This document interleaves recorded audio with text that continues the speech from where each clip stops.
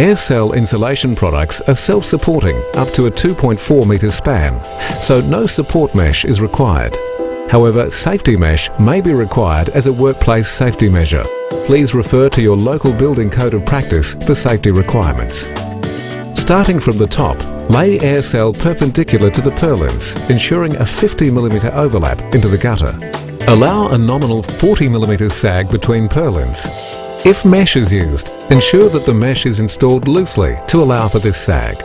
Fix the roof sheeting by screwing through AIR-CELL to the purlins.